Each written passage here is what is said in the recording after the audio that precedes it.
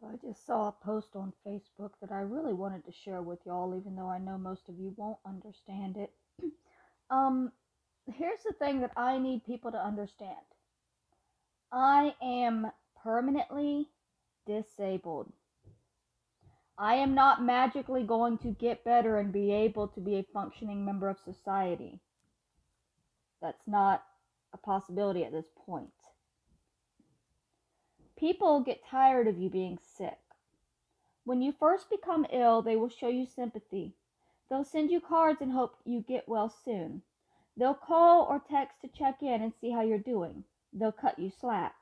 They'll be understanding when you have trouble keeping up. But once your illness becomes a chronic condition, they wonder why you can't get better. They show impatience and frustration. They stop trying to include you in plans and they ask why you aren't trying harder. They don't get it. They just want you to be able again so you're not inconveniencing them. People get tired of you being sick, but they don't stop to think that you're probably tired of being sick too. They don't take the time to think about how you'd love to just get over it. They don't care enough to realize you didn't choose this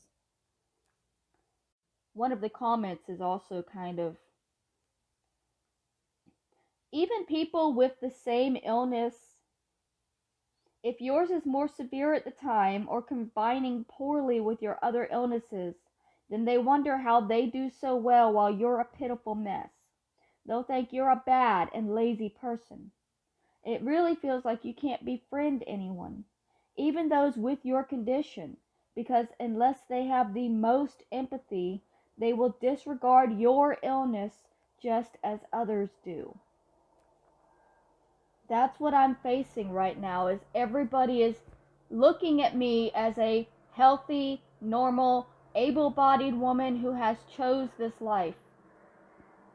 I am not that person. I am permanently disabled. I had CPTSD before the murder. No, it's at one point I said I would I wish that you guys knew me before I had PTSD, but it's actually impossible for anybody to know me before I had PTSD because I've always had PTSD. I've had PTSD from childhood. From that first time that my grandmother took me back to my parents and I had to experience the hell that was that house and the 18 years growing up in that house. My cousins want to judge me and say that I had the best of everything. They were not in my home. They did not grow up in the same environment to understand what it's like. And pointing at my sisters and saying, well, they're not acting like you. They used to. They got better. I kept falling down because I had no support and bad things kept happening, making it worse. You cannot compare your illness to somebody else's illness because they're not the same.